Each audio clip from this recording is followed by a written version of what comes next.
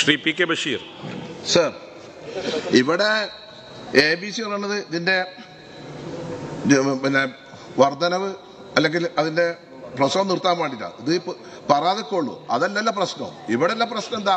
നമ്മളെ കുട്ടികളെ പിന്നെ രക്ഷിതാക്കളെ സ്കൂൾക്ക് പോകുന്ന കുട്ടികളെ ഒക്കെ നായ് കടിക്കുന്നുണ്ട് ഈ നായ്ക്കളെ കടിക്കണ ഈ ഈ നായ്ക്കളെ എങ്ങനെ നിയന്ത്രിക്കാൻ കഴിയുന്നില്ല? മറ്റതൊക്കെ എന്താ വെച്ചാൽ നമ്മൾ കൊണ്ടുപോയിട്ട് അതിന് പിന്നെ ഗർഭം ധരിക്കാക്കാൻ വേണ്ടിയാണ് അതാണ് എന്റെ പച്ച മലയാളം എ ബി സി എന്ന് പറയുന്നത്.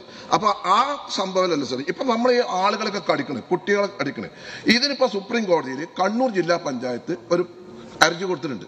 ആ കണ്ണൂർ ജില്ലാ പഞ്ചായത്ത് കൊടുത്ത അതിന് നമ്മുടെ നിലപാട് എന്താണ് അതുപോലെ തന്നെ ബഹുമാനപ്പെട്ട മന്ത്രി ഇവിടെ സൂചിപ്പിച്ചു കേന്ദ്ര നിയമം അല്ല ഒറ്റ ഞാൻ പല രണ്ട് മൂന്ന് അടിയന്തരം അവതരിപ്പിച്ച ഒരു വിഷയമാണ് സാർ സാർ ഒന്ന് കേന്ദ്ര നിയമം വളരെ ശരിയാണ്. രണ്ടായിരം സർജറി ചെയ്ത ഒരു മൃഗ ഡോക്ടറെ കിട്ടുമോ കിട്ടൂല. അപ്പൊ ആ ഇത് റദ്ദാക്കണം സുപ്രീം കോടതിയിൽ നമുക്ക് കക്ഷി ചേർന്നൂടെ അതിനുള്ള എന്താണ്? അതുപോലെ തന്നെ അക്രമകാരികളായ നായകളെ കൊല്ലാൻ കണ്ണൂർ ജില്ലാ പഞ്ചായത്തിന്റെ ആ നിലപാടിൽ നമ്മുടെ സ്റ്റാൻഡാണ് കേന്ദ്ര നിയമം പാസ്സായിക്കോട്ടെ. സംസ്ഥാനത്തിന് അധികാരമുണ്ടല്ലോ. യെസ് യെസ് സാർ മൂന്ന് ചോദ്യമാണ് അദ്ദേഹം ചോദിച്ചത്.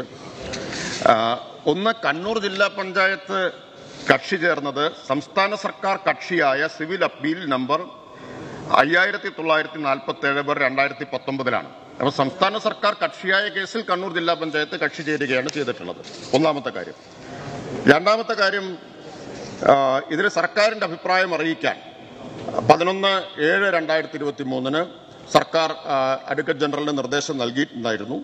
പന്ത്രണ്ട് രണ്ട് പന്ത്രണ്ട് ഏഴ് രണ്ടായിരത്തി ഇരുപത്തി മൂന്നിന് നടന്ന വാദത്തിൽ സർക്കാരിന്റെ അഭിപ്രായം പക്ഷേ അന്ന് ഉന്നയിക്കാൻ അവസരം തന്നിട്ടില്ല. കേസ് ഓഗസ്റ്റ് പതിനാറിലേക്ക് മാറ്റിയിരിക്കുകയാണ്. അപ്പോൾ സർക്കാർ കോടതിയിൽ സർക്കാരിന്റെ നിലപാട് വ്യക്തമാക്കും. നേരത്തെ തന്നെ ആദ്യത്തെ മറുപടിയിൽ തന്നെ ഞാൻ ചൂണ്ടിക്കാണിച്ചിട്ടുണ്ട്. സർക്കാർ നിലവിലുള്ള ചട്ടപ്രകാരമാണ് സർക്കാരിന് പ്രവർത്തിക്കാൻ കഴിയുക. അപ്പൊ ചട്ടങ്ങളിൽ ഇളവ് വേണം എന്നതാണ് സർക്കാർ ആവശ്യപ്പെടുന്നത്. എ ബി സി ചട്ടങ്ങളിൽ തന്നെ ഇളവ് വേണം എന്നത് എന്നതാണ് സർക്കാർ ആവശ്യപ്പെടുന്നത്. രണ്ടായിരം സർജറി അതാണ്. Yes yes yes. അപ്പൊ അതല്ലേ സർക്കാർ കൂടി കക്ഷിയായ കേസ് സുപ്രീം കോടതിയിൽ ഉണ്ട്. സർക്കാർ സർക്കാരിന്റെ സർ സാർ സർക്കാരിന്റെ അഭിപ്രായം പന്ത്രണ്ടാം തീയതി അറിയിക്കാൻ ഇരുന്നതാണ്.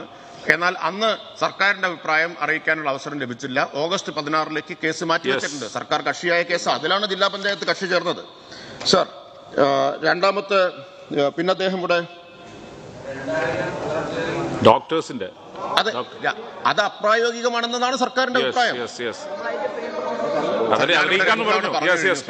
സാർ മറുപടി അദ്ദേഹം ശ്രദ്ധിക്കുന്നില്ലെന്നാണ് തോന്നുന്നത്. ഞാൻ പറഞ്ഞു ഓഗസ്റ്റ് പതിനാറിന് ഓഗസ്റ്റ് പതിനാറിന് കോടതിയിൽ സർക്കാരിന്റെ അഭിപ്രായം അറിയിക്കും. വിശദമായിട്ട്